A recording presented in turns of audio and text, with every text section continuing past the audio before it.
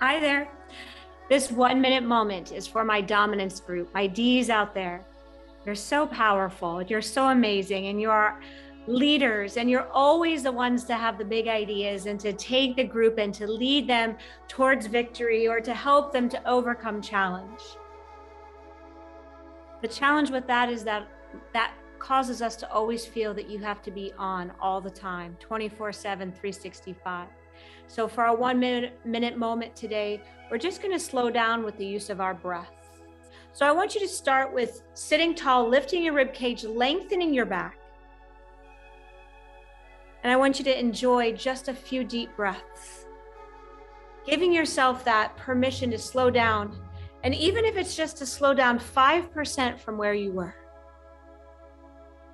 as if the body has that permission to reshuffle, reorganize all the thoughts reprioritize and understand and just this breath that we're taking, this simple breath, where our energies want to lie. Now I want you to take a breath in and hold. Take a breath in and hold, and then exhale everything out.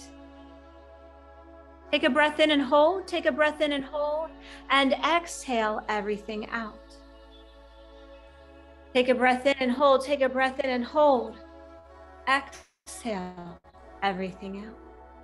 Let's reverse that. Take a big inhale. Exhale, hold. Exhale, hold. Take a big inhale. Exhale, hold. Exhale, hold. Last time, take a big inhale and exhale, hold. Exhale, hold. And return to a natural breath.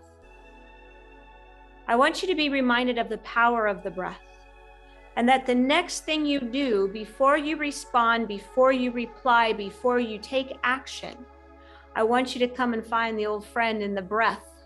And I want you to take a deep breath and slow yourself down so that as you speed yourself back up, you are aligned, you are in tune, and you are exactly where you want to be to respond with your most powerful, best self.